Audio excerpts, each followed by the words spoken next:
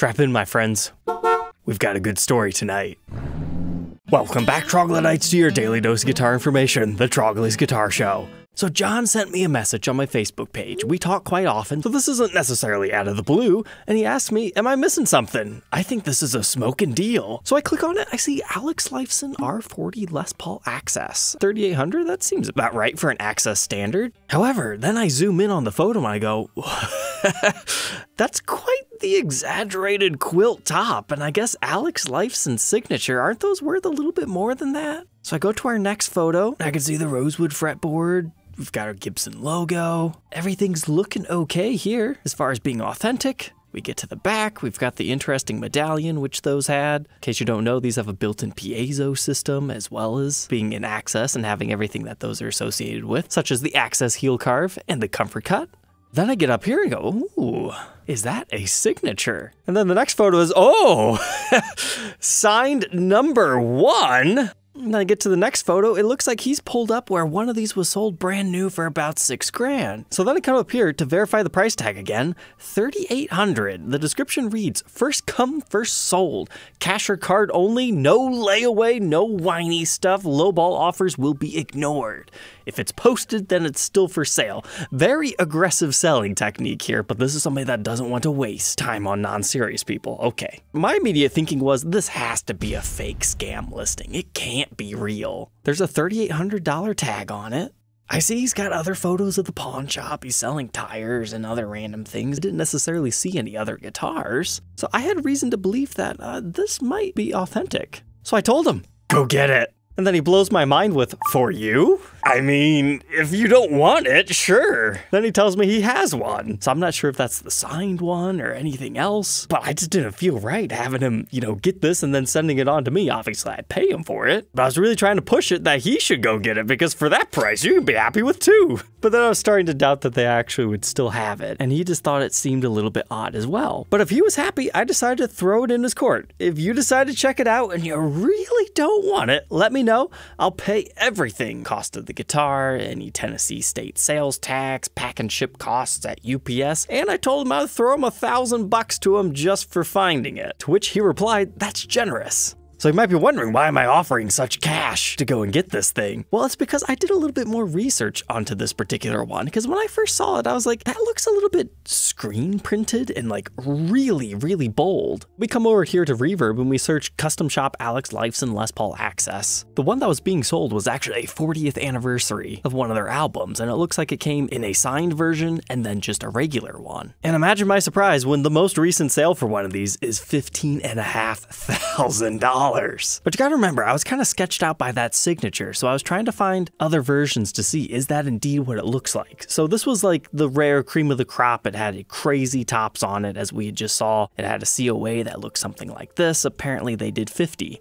But when I looked at this signature, I was like, huh, those look very, very different. Is this some sort of a counterfeit? Did they erase the serial number off of a different one and refinish it and try to make it look like a number one? Maybe somebody trying to pull one over on the pawn shop or something. And I looked at a few other examples and they all had this kind of streaky looking white marker. But I figured at this price, it doesn't really matter. However, I found another photo right on Rush's website. And if we zoom in here, it's the exact guitar. You can see how deliberate number one was. It's the first one out of a batch of 50 that he's signing. Of course, he's going to get a little bit sloppy and the ink is going to run out of the marker. So now I'm wondering, what on earth is Alex Lifeson's Les Paul doing in a pawn shop?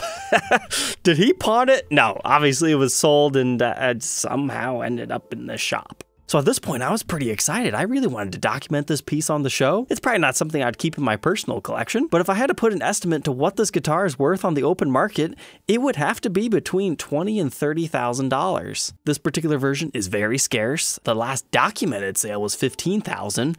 So add number one, having a photo of him with it, besides them saying that he played all of them, that's what collectors want. But here's the thing about this pawn shop. They posted it like 30 minutes before they closed for the entire weekend. They were not open Saturday and Sunday. So I had to sit pins and needles all weekend, hoping that he would get there right at open and we, we could close the deal. We can make history happen here. So I messaged him on Monday, right when they opened, asked him if he had any luck, and he said he got stuck at work and he'd be about 20 minutes away. And I was watching it all morning, waiting for it to be updated as sold. But so far we were good. But as soon as he started messaging, I checked again and Sure enough, gone.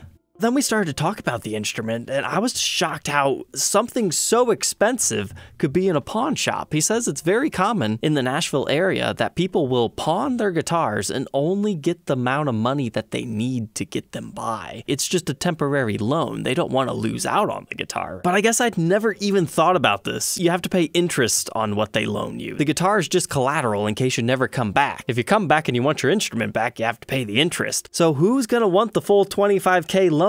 If they only need $2,000. This has to be a pretty high profile piece. Somebody out there has to know who had number one Alex Lifeson of this particular very sought after run. This is not a guitar I would normally associate with somebody that would need to pawn to get by. There has to be more to a story here. Apparently, while he decided to visit the shop even though it was marked as sold, he jabbed his ribs a little bit saying, yeah, that was a 25k guitar he just sold.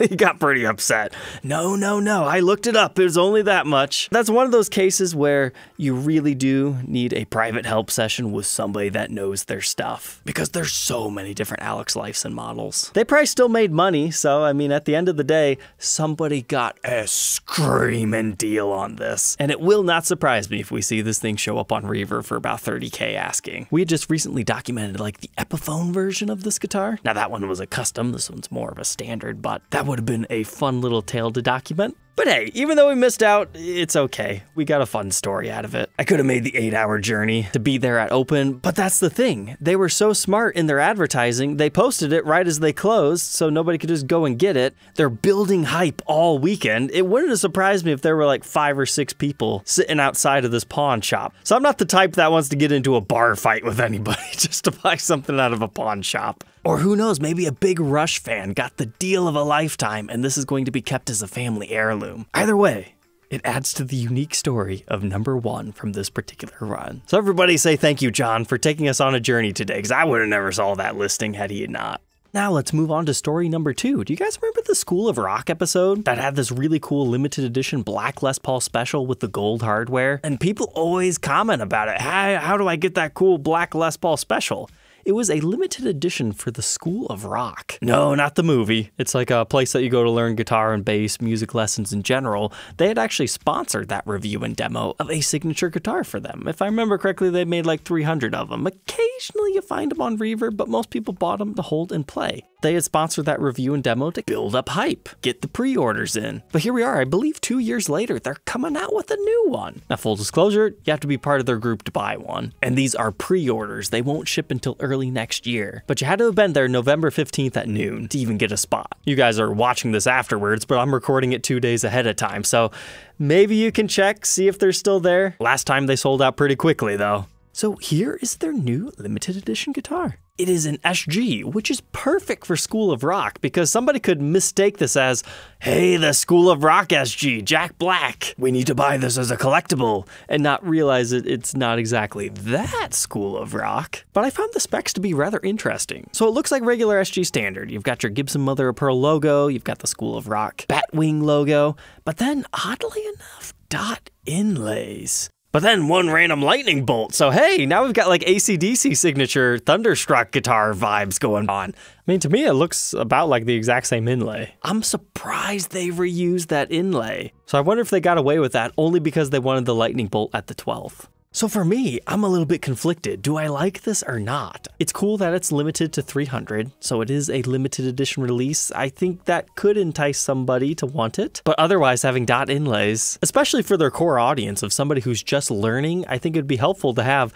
a unique inlay at the 12th fret and then just have dots not distracting you with anything else fancy. So it's perfect for the demographic. I think it's a cool thing they do for them. But it's not just guitars this time. They also have one of the basses. Now this one they're only doing a limited edition of 100 on. I think that was a good move on their part. Not as many people want the EB3 style bass. But instead of the Gibson soft case, this one at least comes with the hard shell, and everything else, I mean, seems pretty typical on one of these. Brand new, they're 2000. They've got the crown inlay on the headstock and the trapezoids on the fretboard. This one dials it back a notch again to our dot inlays and gives us the Thunderbolt at the 12th. Very rockin'. Here's where you get a little bit more for your money. They decided to swap out the standard 490 series pickups and give it a 60s burst Burstbucker pickup. So that's kind of similar to what you'd find in some of the Les Paul standards. So they did that for the guitar, but they didn't change any of the body woods. Most of this is marketing materials. And these are also coming with nickel hardware versus chrome, so it's going to have that slightly more vintage appeal to it. And they've also branded it School of Rock, how many they produced on the backplate of them. It's a nice little touch. You're also getting one of the Positive Grid customized amps, the Spark Mini. I'm sure that's fantastic for somebody just learning, and it's something that's good enough that they can use throughout their journey. And a very nice Levy strap. Although I'm interested to see how are they going to fit that amp in the case.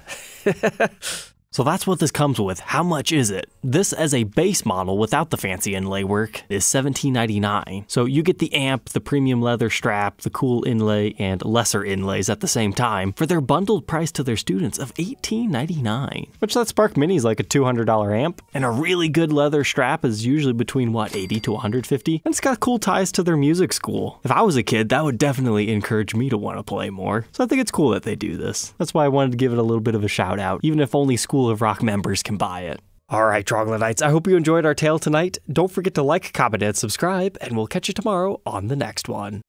Take care.